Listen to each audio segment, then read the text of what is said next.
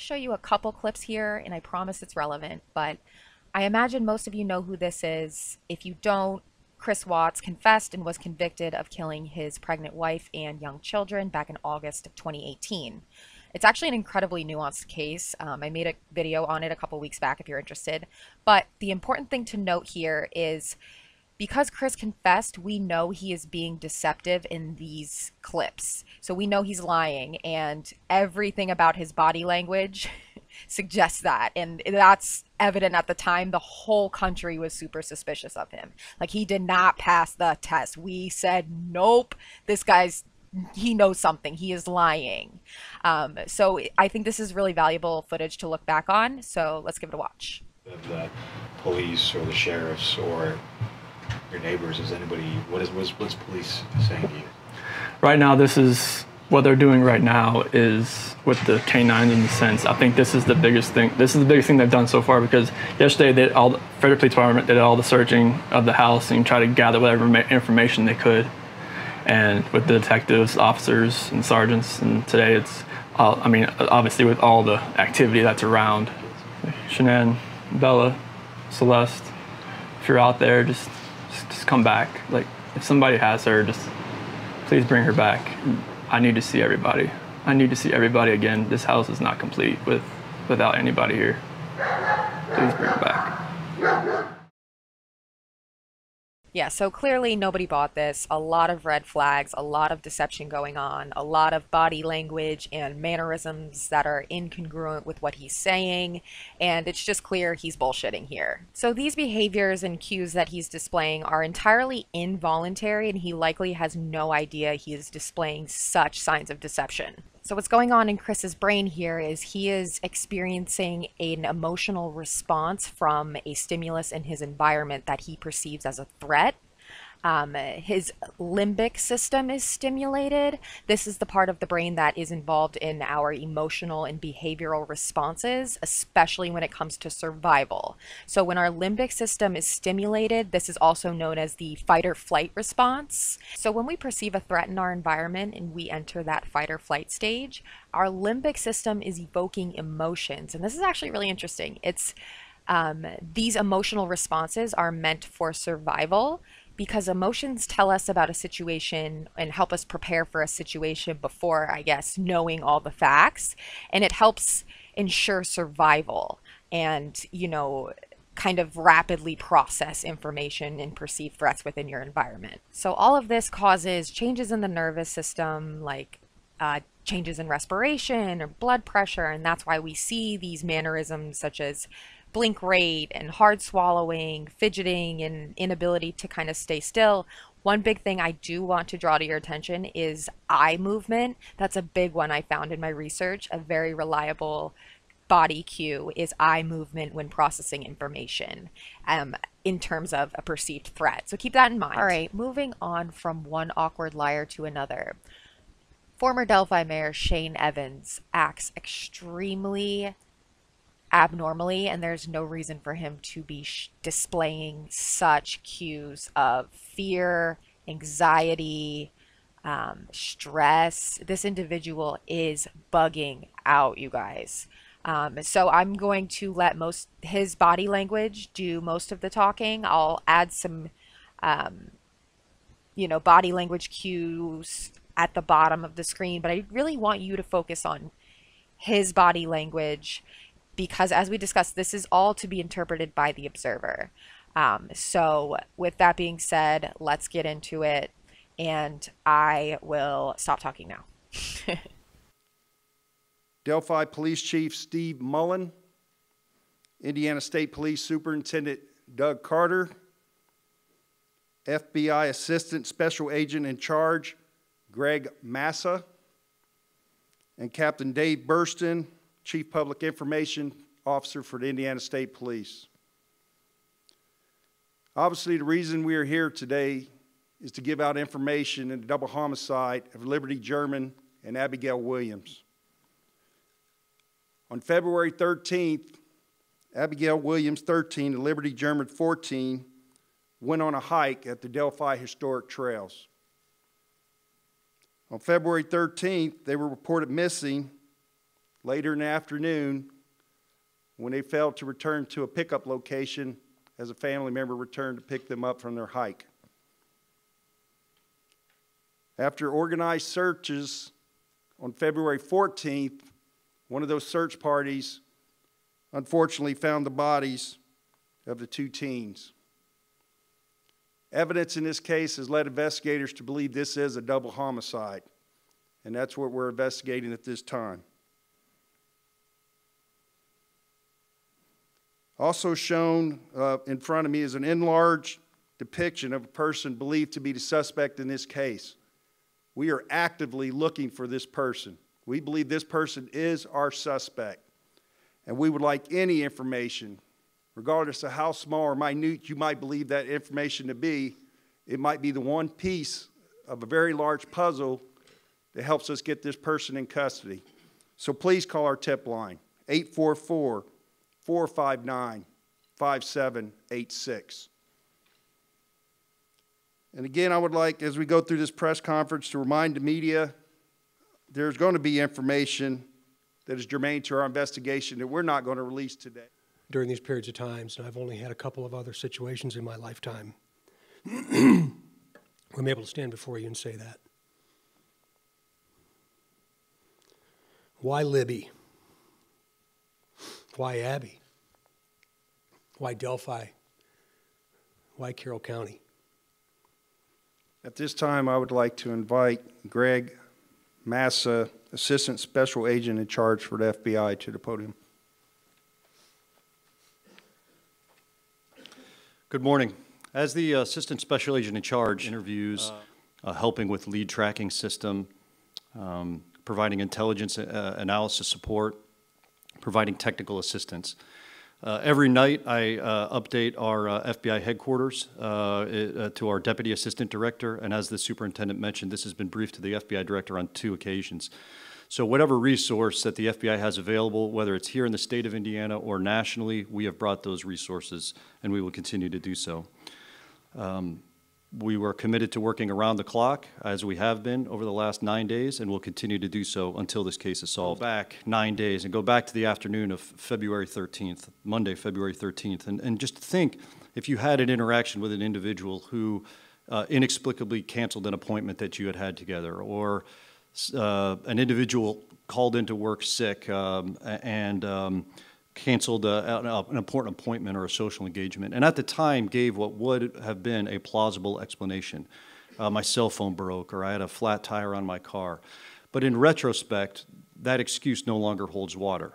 That, that, that may be, that may be important.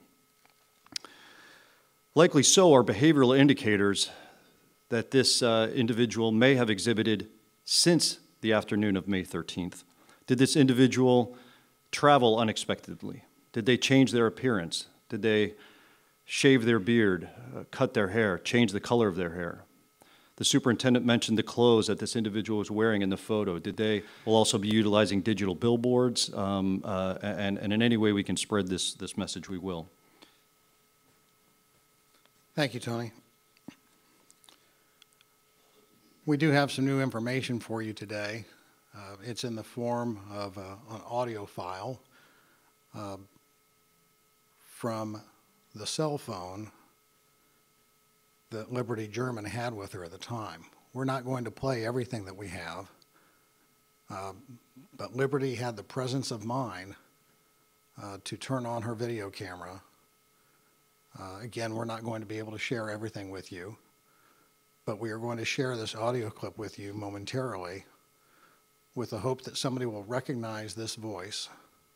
And I want to be very clear that what you're about to hear is just four short words. Excuse me, three words down the hill. You're going to hear this played four times. The audio quality is not superb but there's enough there that somebody could recognize this person's voice. And as Superintendent Carter said, not to rationalize away. If you hear this today and you think, my God, that sounds like fill in the blank, call us. Make an anonymous tip. Tell us who you think it is. Let us investigate it. If it's not the right person, they'll just be out a little bit of time and they'll be cleared and they can go on and they'll never know that you called. But you may tell us who the right person was. And you could be the person that helps us to solve this horrible crime. Micah, play the clip, please.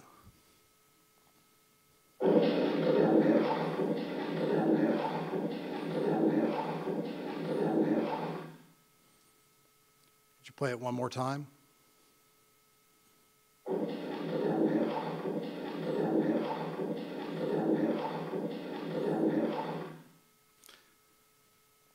So that audio clip later today will be available on the Indiana State Police website. You can simply go to our website and add the extension slash delphi dot htm.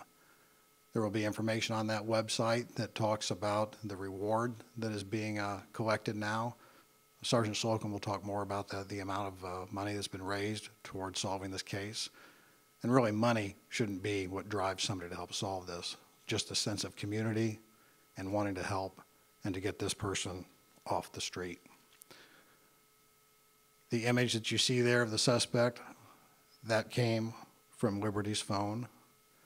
I think many of you had speculated that before. We weren't prepared to discuss it at the time. We have more video. We're not releasing it. It's germane to our investigation.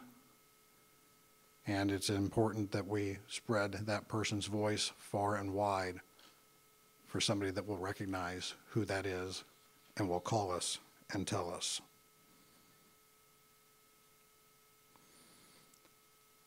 I also want to uh, tell you that there will be a tip line.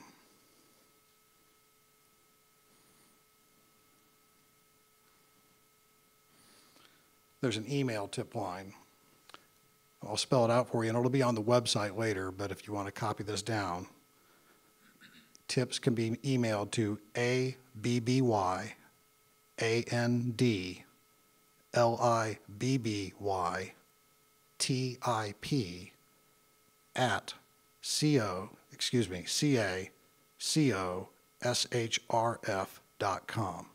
So that is Abby and Libby Tip at C-A, C-O-S-H-R-F dot com.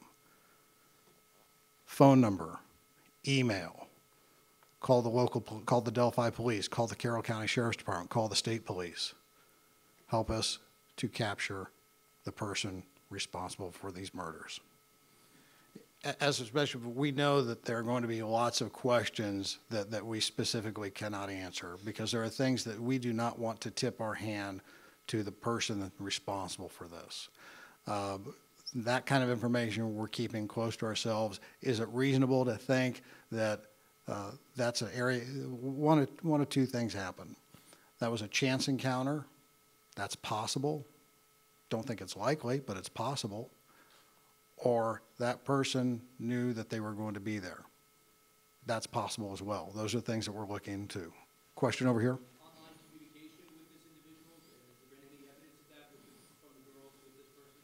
Uh, Similar to what I just said, there, there's spe- specific pieces of information that we're, we're not discussing. Uh, the best example that I can give you is if, uh, if somebody is a victim of a burglary and then they're murdered, everybody wants to know how they were murdered. If we go into the details and we say they were stabbed twice in the back and they were shot in the head, uh, then everybody hears that. And then when we get tips, people tell us that, and the tip is useless. We're keeping information that will only be known by the person or by who that person told. And when that's shared with us, it will set off the alarm bells and we'll know. Captain, based upon what you have and other investigators have seen of this crime, do you believe this individual has killed before, and what makes you believe he will do it again? Greg, I'll let uh, Agent Massa address that. Uh, There has been no indication right now that, that this is a part of a, a serial um, uh, murder, if that's what your question is. Um, So uh, as, as of the facts that we have collected at this point in time, we have not tied it to any other uh, known homicides.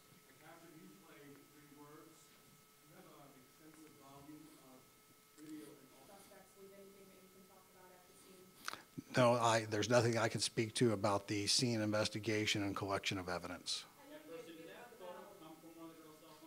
Over here. Uh, So there, there's lots more that we're looking at.